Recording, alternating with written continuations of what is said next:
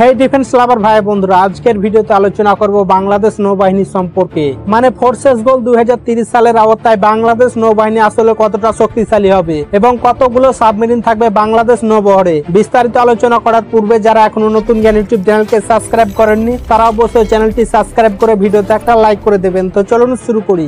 বাংলাদেশ নৌবাহিনী শান্তিতে সংগ্রামে সমুদ্র দুর্জয়। এই মূল মন্ত্র নিয়ে উনিশশো একাত্তর সালে একুশে নভেম্বর মহান মুক্তিযুদ্ধের মাধ্যমে এই গৌরব উজ্জ্বল বাহিনীর আত্মপ্রকাশ ঘটে। কিন্তু বাংলাদেশ নৌবাহিনীর মাত্র দুইটি গানবোট নিয়ে যাত্রা শুরু করলেও এরপর প্রেসিডেন্ট জিয়াউর রহমানের সময় প্রথম রয়্যাল ব্রিটিশ নেভি থেকে একটি ফ্রিগেট যুক্ত করার মাধ্যমে এই বাহিনীর নতুন যাত্রা শুরু করে। বর্তমান প্রেক্ষাপটে বাংলাদেশ নৌবাহিনীর প্রতিবেশী দেশের হুমকি মোকাবেলায় যথেষ্ট শক্তিশালী নয়। তাই বর্তমান সরকার হাতে নিয়েছে ফোর্সেস গোল দুই কে সামনে রেখে ব্যাপক উন্নয়ন। প্রথমে বলে রাখি যে দুই হাজার সতেরো সালে বাংলাদেশ চিহ্নিত দুইটি মিনকেলা সাবমেরিন ক্রয় করে। এটি মূলত ট্রেনিং এর পাশাপাশি অ্যাটাক করতেও সক্ষম। তবে বর্তমান যুগের সাথে তাল মিলিয়ে চলতে গেলে প্রয়োজন অত্যাধুনিক ও যুগ উপযোগী সাবমেরিন, যা একটি বাহিনীর জন্য স্ট্র্যাটেজিক ওয়েপন বলা চলে। আর type zero three five G মিনকেলা submarine হচ্ছে চীনের তৈরি একটি ডিজেল ইলেকট্রিক অ্যাটাক সাবমেরিন। এটি মূলত রাশিয়ান রোমিও ক্লাস সাবমেরিনের চাইনিজ লাইসেন্স ভার্সন উনিশশো পঞ্চাশ সালে চীন সোভিয়েত ফ্রেন্ডশিপ অ্যালাইনের অংশ হিসেবে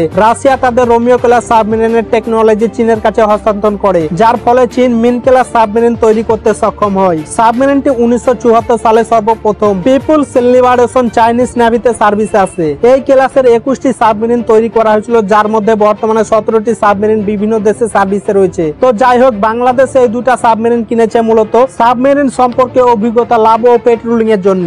আগামী দশ বছরে আরও চারটি ডেডিকেটেড অ্যাটাক সাবমেরিন যুক্ত হবে, যার মধ্যে দুইটি নতুন ও দুইটি পুরাতন হবে। চীন, রাশিয়া, ইতালি, জার্মানি, ফ্রান্স, দক্ষিণ কোরিয়া ও তুরস্ক থেকে সাবমেরিন কিনতে পারে বাংলাদেশ। যেহেতু সাবমেরিন ফ্লিট চীনকে দিয়ে করানো হচ্ছে এবং চাইনিজ সাবমেরিন বহরে রয়েছে সেহেতু। এক প্রকার নিশ্চিত বলা চলে যে চীন থেকে সাবমেরিন কিনতে পারে বাংলাদেশ। পুরাতন নিলে type zero three nine class submarine দুইটি এবং নতুন জিরো থ্রি নাইন বি শ্রেণির রপ্তানি ভার্সন এস টোয়েন্টি সিক্স ক্রয় করতে পারে দুইটি। এই মোট চারটি সাবমেরিন আর পুরাতন দুটি সাবমেরিন নিয়ে মোট ছয়টি সাবমেরিন দুই সালের মধ্যে নৌবাহিনীর কাছে থাকবে।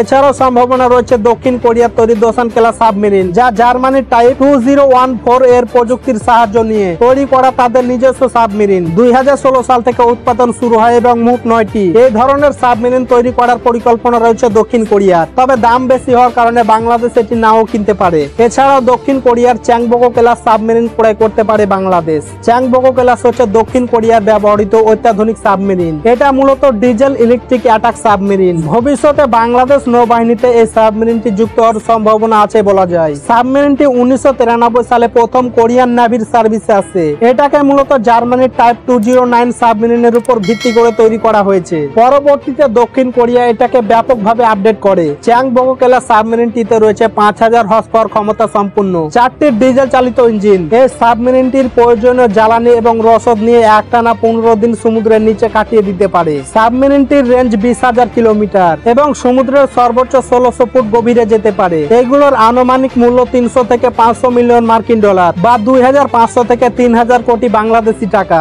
ইতিমধ্যে বাংলাদেশ দক্ষিণ কোরিয়া থেকে বিএনএস বঙ্গবন্ধু ফ্রিগেটটিকে কিনেছে। যার কারণে এই সাবমেরিন বাংলাদেশ নৌবাহিনীতে যুক্ত হতে পারে এমনটা আশা করাই যায়। অপরদিকে তুরস্কের নিজস্ব প্রযুক্তিতে তৈরি করা মিলডেন্স ক্লাস সাবমেরিন ক্রয় করলেও ভালো হবে। অস্ত্র শস্ত্র পেতে কোনো অসুবিধা হবে না, বরং পশ্চিমা আর্মামেন্টস এর সমতুল্য।